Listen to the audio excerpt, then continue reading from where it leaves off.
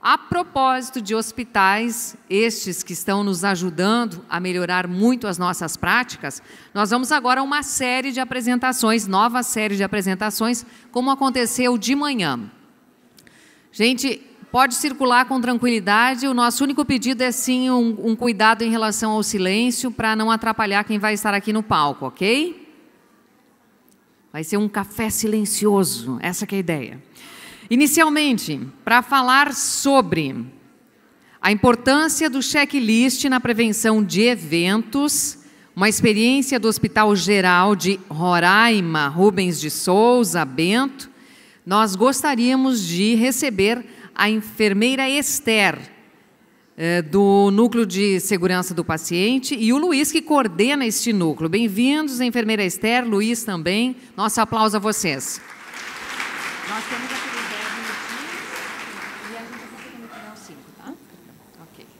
Boa tarde, primeiramente, a todos. Uh, nós daqui do, do Hospital de Roraima estamos muito felizes de estar participando do projeto.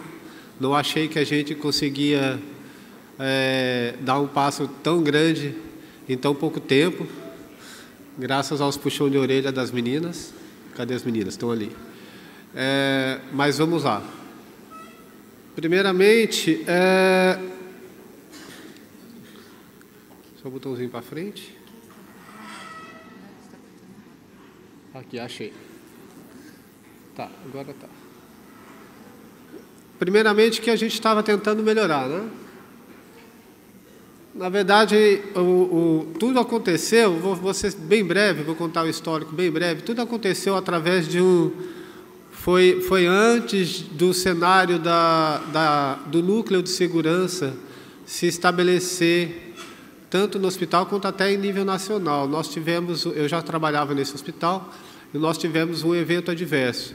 O centro cirúrgico do Hospital do HGR nunca teve um histórico de evento adverso assim sério.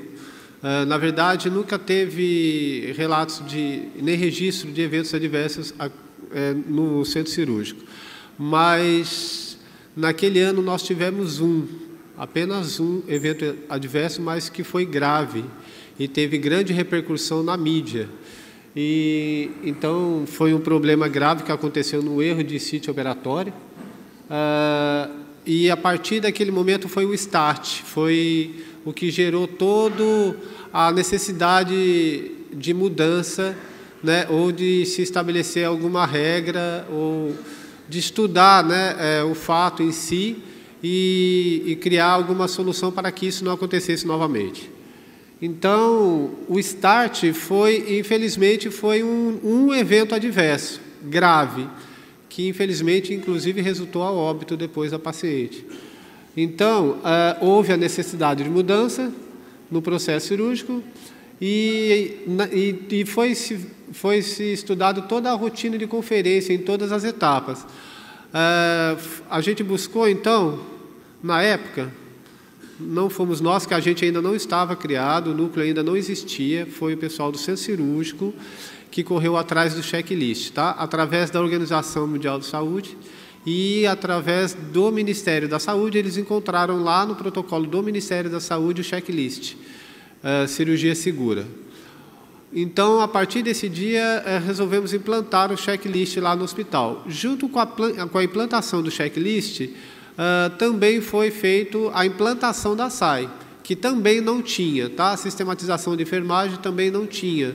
Nessa época ela já existia, mas no centro cirúrgico ela não era efetiva. Então, é, por parte da, na verdade, foram duas estratégias que andaram paralelamente. É, pela enfermagem, a SAI, e pela enfermagem também, mais com outros atores envolvidos, a, o checklist de cirurgia segura. Agora eu vou passar a palavra para. É, é tu que vai falar essa parte? Eu vou passar a palavra para a Esther, depois eu retorno aqui com mais algumas, alguns fatos aí.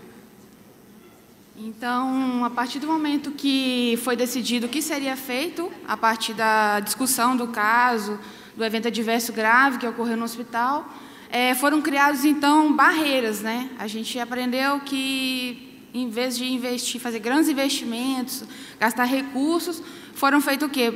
Mudança no processo. Então, como a gente aprendeu, todo, todo o sistema é desenhado para o fim que ele tem hoje. Então, foi redesenhado o sistema dentro do centro cirúrgico, né? Criando várias barreiras. Uma das barreiras foi é, elaboração do checklist com as colunas, como é o modelo da OMS, porém, é, foi fixado cada coluna para uma categoria profissional ali preencher. A enfermagem preenche uma, o anestesista outra e o cirurgião outra, de forma que o paciente tem mais três barreiras dentro do, do checklist para é, passar, então a gente consegue mais três barreiras para prevenir o erro, né?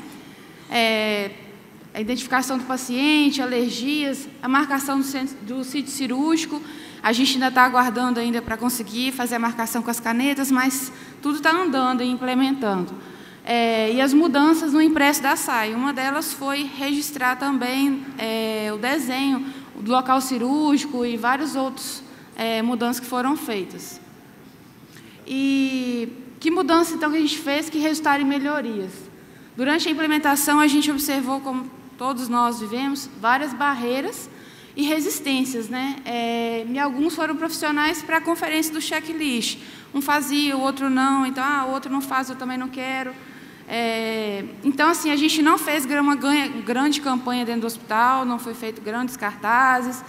O que, que, a gente foi, que, que foi feito pela gerência? É, pequenas palestras no horário de plantão. Todos nós sabemos como é difícil levar o profissional para um auditório ou participar de fazer grandes campanhas, demanda mais energia. Então, a gente optou por realizar várias palestras pequenas, cada cinco minutos, dez, é, intervalos das cirurgias para é, fazer a sensibilização dos profissionais.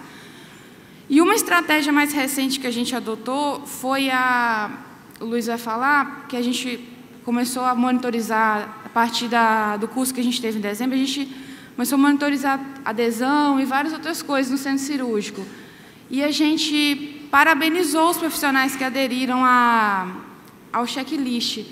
E quando a gente parabenizou os que a lacuna que não participou se sentiu ofendida, assim, falou assim, como assim está sendo feito ou quiseram desmerecer até? Falei assim, poxa, vocês, então assim, isso trouxe uma curiosidade para aqueles que não faziam parte, que a adesão até aumentou um pouco mais depois dessa campanha que a gente, um cartaz de agradecimento do pessoal que a gente fez.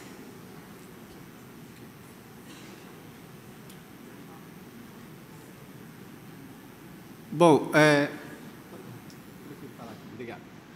É... aqui está bem claro, né?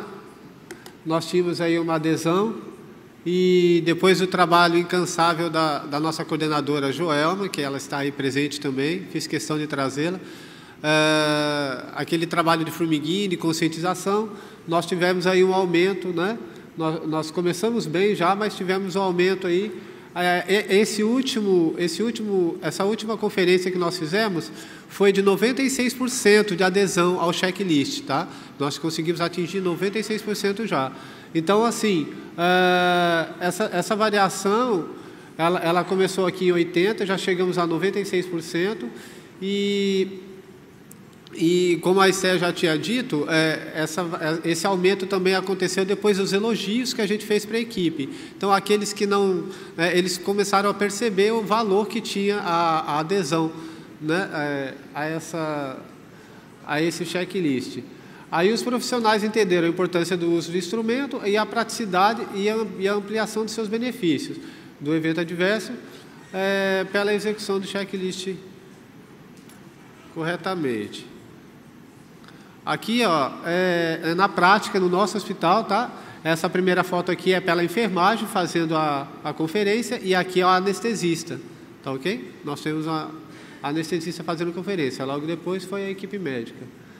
Aqui está, ó, é, é, essa plaquinha de parabéns que nós fizemos, né? Envolvendo a equipe, é, é, parabenizando toda a equipe do centro cirúrgico e colocamos ela em vários pontos estratégicos do hospital, para chamar a atenção, inclusive, de pessoas que não estavam envolvidas com o processo. Próximo passo. É seu? É, Só para ressaltar que a gente teve em fevereiro, na última semana, é, um evento diverso que foi evitado. É, como a gente tem várias. O Hostal, Hostal Escola, a gente recebeu os novos residentes e quando o paciente tinha passado pela enfermagem, anestesista, e o residente já foi, já no início da residência, ele já colocou os, os campos e já foi fazendo quando foram fazer o checklist, o preceptor chegou para fazer a cirurgia, já tinha preparado o paciente, foi visto que o local era o local errado. Então, assim, é, foi, um, foi até quando a gente estava recebendo a visita das meninas do Moinho de Vento.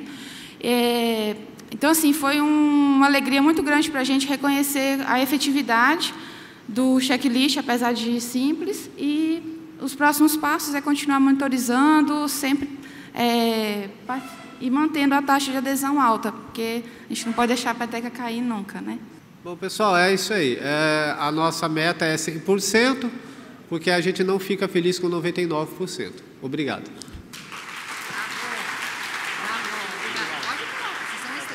Obrigado. Estou dizendo aqui para o Luiz vocês são estrelas, tem que chegar e sair pela frente. Obrigada, obrigada ao Luiz, à enfermeira Esther, que trouxeram o modelo lá do Hospital Geral de Roraima.